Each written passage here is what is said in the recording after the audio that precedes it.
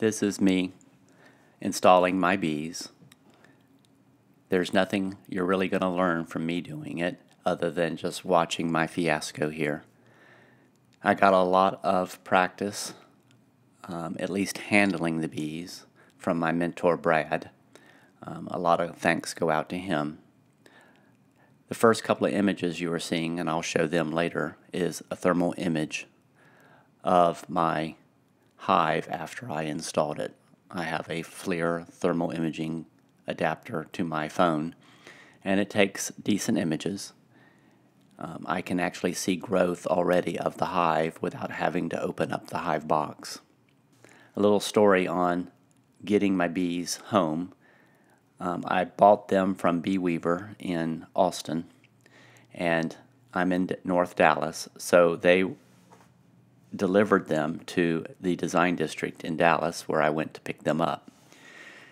And my mother was in town with a friend of hers, and so I invited them to go with me to pick them up. And I drive a Prius, which does not have a trunk. So we went to pick up the nuc, which is a small uh, nucleus of bees, and that's that white box you're seeing on the other side of my brood box.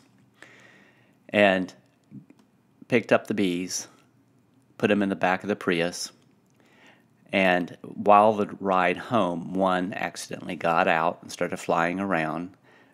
My mother was nervous in the back seat. Her friend was in the front seat next to me. And we were getting ready to pull onto the tollway, and President Obama was in town. Secret Service had the tollway shut down due to his travel. The neighborhood was shut down, so I had to snake all the way back home um, to get um, the bees home. And then I actually set them side by side the box as it was suggested um, for about two hours um, before I installed them um, here, just so that they would help relax a little bit instead of being jostled around so much. So no one got hurt. A little stress, um, me thinking, oh, what a stupid idea after the tollway was shut down and Obama was in town um, having my mother with me. But it all turned out well. No one got hurt, no one got stung, but a decent story, funny enough.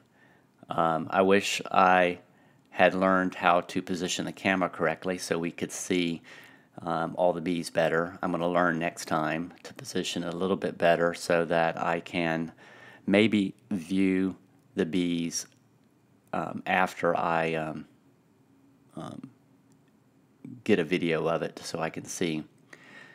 Um, getting all the frames, I'm go- doing uh, foundationless frames, um, which will take a little longer, but at the same time, it will. Um, m- my understanding is it'll make a stronger colony ultimately um, for warding off um, any diseases, br- um, foul brood, or anything else. So, this is my first inspection of it. When I first installed the bees, I did not find my queen. I did find my queen um, on this inspection about three or four days, three days later actually, um, heading out of town, and I'm glad I did inspect it then because of the weather that's coming, and um, it's been cloudy and rainy. Had a lot of fun videotaping um, the bees. This is a really slow motion. They're really not graceful creatures. They're very smart and um, but they're not graceful. It's funny watching them bounce in and then fall over, and um, it was. I'm out here a lot watching them. Um, I know I'll get bored with it eventually, but it's quite nice. And sorry for my rambling. I just wanted to speak through this, but you're going to get some thermal imaging photos of the inn.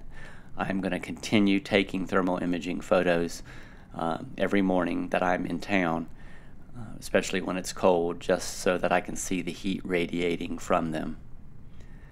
Have a good day. Any questions, please give me a call or please email me or post a.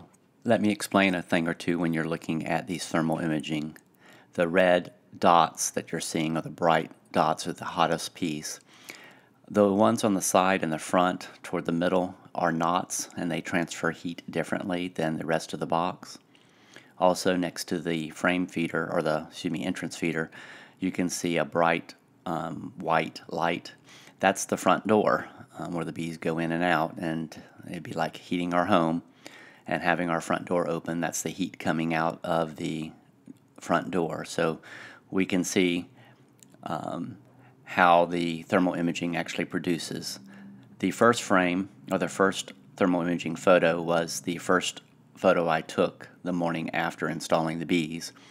And the second one is uh, about six days later, and you can see a little bit where the circle, the colony of bees, has grown, um, made the circle a little bit wider.